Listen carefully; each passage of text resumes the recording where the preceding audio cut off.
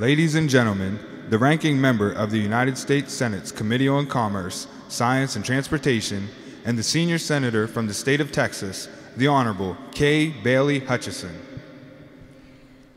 We are honoring four brave, determined, resilient men.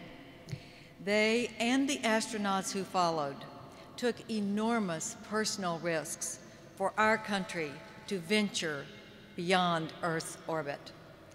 Their missions into the unknown remind us of what can be achieved, as well as the dangers of not reaching for the stars. America urgently needs to continue our preeminence in manned space exploration. From Senator Glenn's flight on Friendship 7 to astronauts Armstrong, Collins, and Aldrin's lunar mission of Apollo 11, to our recent Space Shuttle program to the space station, we know that space exploration is a step-by-step process.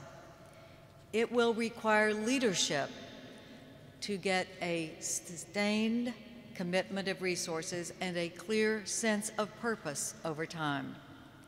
Look at what space exploration has brought to America.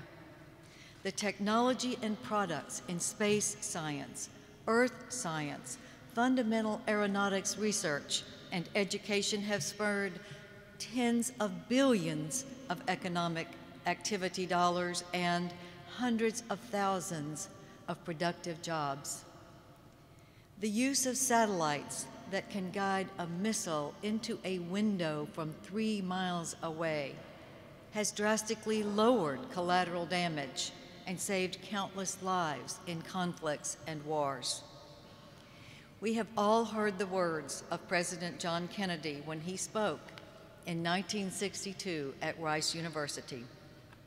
For the eyes of the world now look into space, to the moon and to the planets beyond, and we have vowed that we shall not see it governed by a hostile flag of conquest, but by a banner of freedom and peace.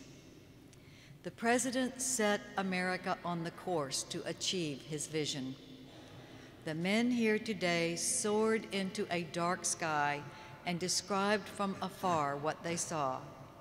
In the process, they contributed to a better world here on earth.